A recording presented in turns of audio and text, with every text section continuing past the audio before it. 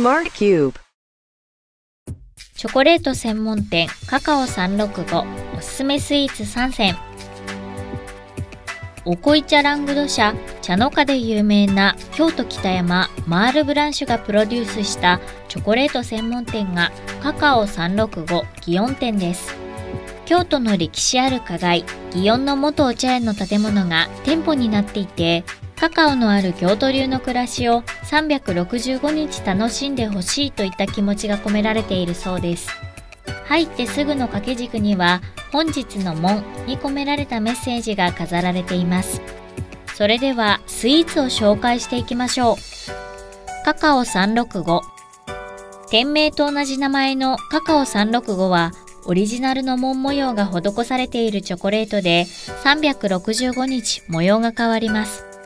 見た目だけではなく味も本格的でとっても上品な美味しさです。今日1本。濃厚な抹茶の味わいを楽しめる抹茶テリーヌです。ホワイトチョコレートに抹茶を混ぜ込んでいて甘さと渋みがマッチしています。しっとりとした食感と滑らかな口当たりで癖になる美味しさです。カカオちゃんスティックチョコレート。マスコットキャラクターカカオちゃん。お茶目な外見ですが味はカカオや果実の素材感あふれる本格的チョコレートです。楽しい当たり付きで当たりが出たらもう1本ならぬ5000円相当のプレゼントがもらえます。